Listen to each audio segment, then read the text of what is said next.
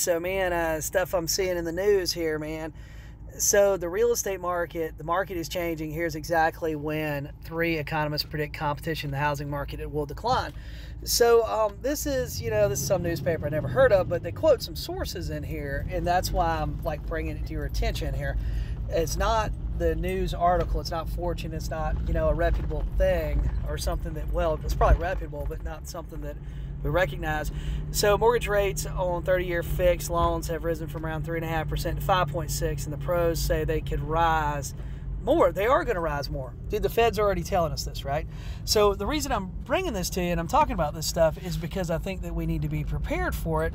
And the more we can prepare for it, the better it's going to be. Like now's probably not a bad time for you guys to start like like going out there making relationships with the banks and stuff because the foreclosure boom was so long ago the banks don't really have those relationships anymore a lot of those agents aren't even in the business anymore and guys if you want me to teach like some foreclosure classes and stuff i've done some in the past a lot of that stuff's still relevant um, if you want me to drop it in the comments and say hey please teach a foreclosure class and i'll be uh, happy to put that try to put that together for you but guys Redfin here reported the first time in six months competition from homebuyers fell slightly in March, right?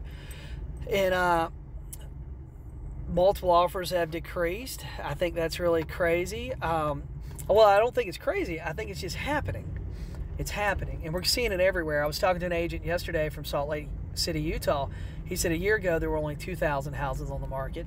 Yesterday there was 4,600 houses on the market, right? So by the end of summer, there will be less competition between buyers on listings as well as more homes on the market. This is true, man. This is true.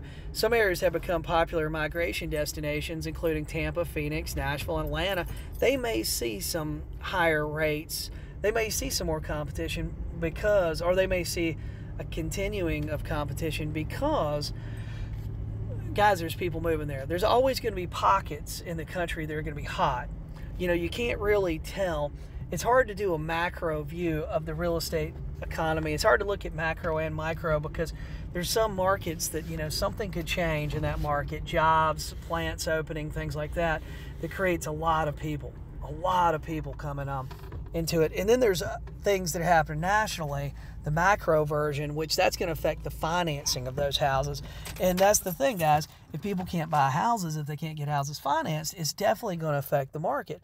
So even with signs of housing market slow down over the next few months, buyers shouldn't expect a sudden bargain. That's correct. It's going to happen gradually, right? Or we hoping it's going to happen gradually.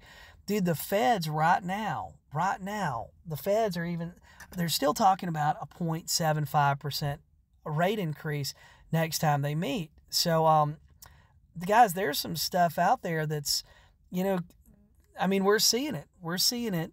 There's stuff in the news. Got to pay attention. Don't stick your head in the sand. Guys, if you like me bringing this sort of stuff to your attention, please hit the subscribe button for me. Give me a thumbs up and leave me a comment below.